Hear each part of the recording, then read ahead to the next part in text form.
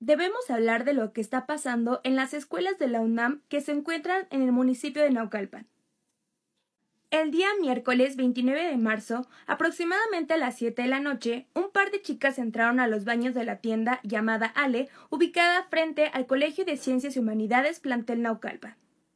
Al salir la primera chica del sanitario, un trabajador de la tienda comentó que iba a pasar para asegurarse que el sanitario estuviera limpio antes de que la segunda chica pasara.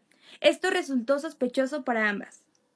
Cuando la siguiente chica entró al sanitario, se percató que dentro de él había un teléfono grabando. Al tomar el dispositivo y entrar a la galería, notó que había muchísimos videos de genitales, no solamente de su compañera, sino de otros alumnos. Al salir, ella pidió una explicación de lo que había pasado, pero el trabajador le arrebató el teléfono y salió corriendo. El día de hoy, los estudiantes salieron a protestar a la tienda pidiendo justicia, pues este es un cargo de pedofilia, pues recordemos que en preparatoria la mayoría de los chicos son menores de edad. La dueña del establecimiento comentó que dicho trabajador solamente tenía tres días laborando, pero los testimonios de los jóvenes anuncian que esto ha pasado desde hace varios años. Pero esto no es todo, pues cerca del CCH se encuentra la Facultad de Estudios Superiores Acatlán.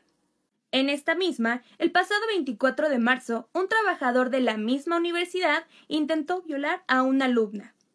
Afortunadamente, ella logró escapar, y al levantar la denuncia en el área jurídica, intentaron persuadirla para no levantar el acta, además de ser revictimizada, aun cuando ella presentaba un testigo y lesiones visibles.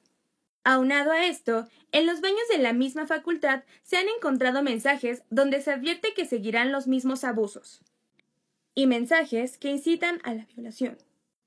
Esto necesita difundirse, asimismo como ejercer presión dentro de la universidad y en el gobierno. ¿Será que la máxima casa de estudios por fin podrá dejar de encubrir violadores?